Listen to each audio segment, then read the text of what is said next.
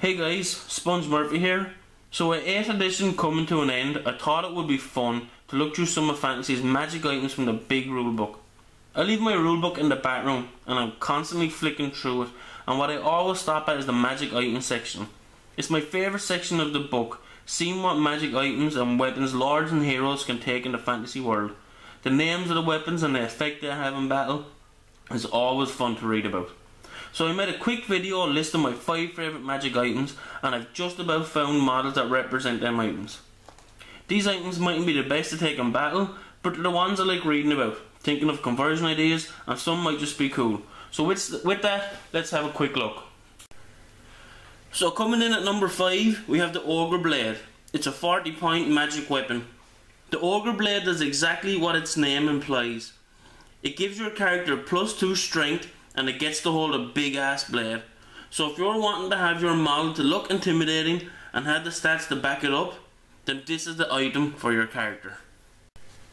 So coming in at number 4, we have the Scarecrow banner. It's a 5 point magic banner. It may be the lowest pointed banner, but it's definitely one of the coolest. Fluff wise that is. The Scarecrow banner causes fear to models with the fly special rule. It's very situational because flying creatures cause fear itself, so it cancels out. But if you make the banner for a unit, it tells a story. Like a unit of men searching for a flying creature to attack their village. They're great for diorama ideas, so make sure to keep it fluffy. Number 3, we have the Ruby Ring of Ruin. It's a 25 point enchanted item. So you're at the end of your magic phase. You have no spells left to cast, but still have some power dice left. Your hero steps forward, pulls out his ruby ring of ruin, and boom, starts casting out fireball spells. Frodo Baggins wish he had this ring. It's an awesome item. Number 2, we have the Fencer Blades. Magic weapon for 35 points. Now this is a great choice. It has good rules at a decent price. It makes your character weapon skill 10, making even the worst fighters into a weapons master. As for modelling choices, dual hand weapons never go out of style. And finally, coming in at number one, we have the Arabian Carpet. It's an enchanted item for 50 points. Why? Simple, it gives your character the fly special rule. Now I know in game it can have its disadvantages, but imagine a wizard with a lore of fire flying around the battlefield on his Arabian carpet, shooting fireballs in any direction. But the modelling possibilities is what I love.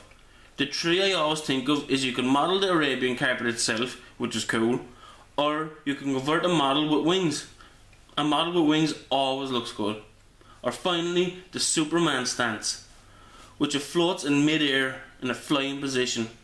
It's a harder conversion than the other two, but it could look great. Arabian carpet, you are my favourite magic item. So that's it. That's my five favourite magic items. It was a very quick video, but I enjoyed making it and looking at some of the stuff. Make sure to leave in the comment section below what magic items you like or any items you think I should have added in. But this is just purely uh, my opinion. They're like fun items to read, nothing too gamey or anything.